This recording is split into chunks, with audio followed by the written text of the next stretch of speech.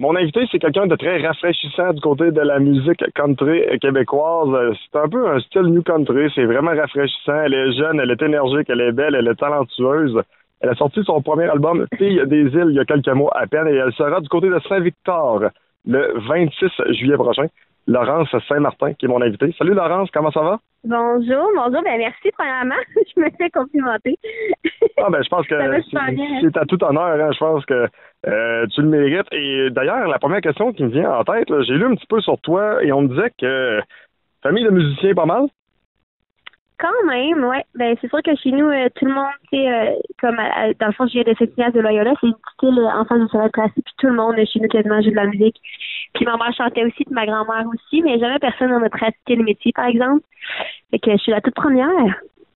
Euh, est-ce qu'il y a une certaine pression qui vient avec ça? Puis qu'est-ce qui fait justement que tu as décidé, toi, de te lancer dans une carrière? Parce que tu le mentionnes, un peu tout le monde joue de la musique chez vous, mais il n'y a personne qui a décidé vraiment de, de faire le grand saut, si je peux me permettre l'expression. Euh, ben, en fait, je ressens pas la pression pour répondre à la première question parce que je le fais vraiment pour le plaisir, puis même que tout le monde m'encourage à le faire aussi pour le plaisir et non pas pour un métier ou quoi que ce soit pour l'instant. Euh, mais ce qui m'a poussé à le faire, je pense que pour moi, ça a toujours été super naturel. Euh, j'ai toujours admiré les gens qui le faisaient, surtout comme à la télé ou ben non, dans les spectacles, j'ai toujours admiré ça. Fait que on dirait que pour moi, c'est naturel d'aller vers ça. Pendant un instant, j'ai pensé que j'allais prendre un autre chemin, mais à un moment donné, la lumière est allumée, puis euh, j'ai pu prendre la première porte qui s'est ouverte à moi. Puis là, j'arrête pas de travailler très, très fort pour que ça marche. On parle d'admiration. Euh, as-tu euh, une artiste ou un artiste ou une vedette en tête qui t'a inspiré et qui t'a un peu, comme on pourrait dire, tracé la voie pour ton style? j'ai été beaucoup inspirée pour mon, album des, de Cain puis les deux frères, mais on a essayé d'en faire une version folk féminine.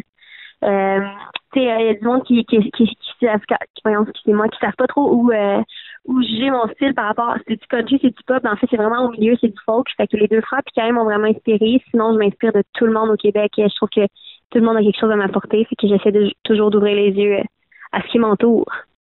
Ouais, j'ai bien dit ouvrir les yeux. Ça inspire un peu ma prochaine question. Il y a des fois, il y a des chansons qui sont peut-être plus loufoques. Prenons l'exemple de Ouvrir les yeux de Simon euh, des Trois Accords. Il y a des chansons comme Les Deux Frères qui sont plus sérieuses. Il y en a d'autres qui sont moins sérieuses. De ton côté, euh, lorsque tu euh, travailles en équipe pour écrire tes chansons, qu'est-ce que tu veux dire aux gens en réalité? Est-ce que tu mieux y aller peut-être avec un petit côté plus funky, un petit côté qui est plus sérieux? Est-ce que tu y vas avec des expériences de vie? Sur quoi tu bases justement tes chansons? Ben, en fait, les 12 chansons qui se retrouvent sur l'album, c'est 12, euh, 12 histoires de ma vie, là, carrément. Fait que euh, c'est tout, euh, dans le fond, vous pouvez écouter l'album de A à Z, puis vous allez apprendre à me connaître. c'est toutes mes expériences que j'ai vécues euh, du haut de mes 21 ans. Euh, ça parle de relations de distance, d'amour. Il y en a qui sont plus drôles, il y en a qui sont plus tristes. C'est un bon mélange de tout ça. T'es toute jeune, tu sais, 21 ans, malgré tout, t'as quand même un bon bagage d'expérience de vie déjà. C'est-tu important pour toi, justement, de pouvoir chanter des choses euh, qui t'appartiennent, si je peux me permettre l'expression, des choses que tu as vécues? C'est vraiment important. C'est sûr que là, j'arrête pas de dire qu'il va falloir que je vive d'autres choses pour un album 2 parce que j'ai plus rien à dire. Mais là, matin, j'étais inspirée, là, j'ai, j'ai réussi à pondre un autre texte. Fait que je continue euh, à écrire des chansons euh, par rapport à ce qui m'entoure. Puis sinon, j'irai m'inspirer ailleurs si jamais j'ai plus d'histoire à dire. pour un ou une artiste, des fois, on, s'entend, tout le monde qui est dans le domaine artistique, puis là, je vais ratisser très large, je vais parler des artisans de la radio, je vais parler euh, du monde dans le cinéma, les chanteurs, euh, bref, gros show business. On est très, très critique sur qu'est-ce qu'on fait. Est-ce que, justement, d'avoir l'aide de certaines personnes, ça te permet de un peu plus relativiser, de dire, finalement, qu'est-ce que je fais, c'est bon? C'est sûr qu'à chaque jour, euh, je l'ai dit souvent dans le processus, les matins que je me levais, je me trouvais vraiment en poche, puis d'autres matins, je me disais, ah, je suis vraiment la meilleure. c'est ça, c'est des up and down, mais d'être entourée de personnes qui, qui peuvent me conseiller, puis euh, en qui j'ai confiance, c'est sûr que ça l'a vraiment beaucoup aidé. Mais encore là, c'est de travailler ta confiance, puis c'est de d'accepter, puis c'est d'avoir confiance en toi aussi. Puis euh, je pense que ça, c'est un truc que je pourrais donner parce que c'est c'est jamais facile.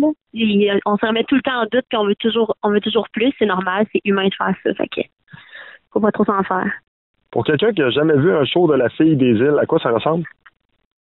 Euh, ben là, on travaille de plus en plus sur les spectacles, c'est ce que j'aime le plus faire, mais je dirais qu'il y a un bon mélange. Si on a le full band, c'est un sacré party.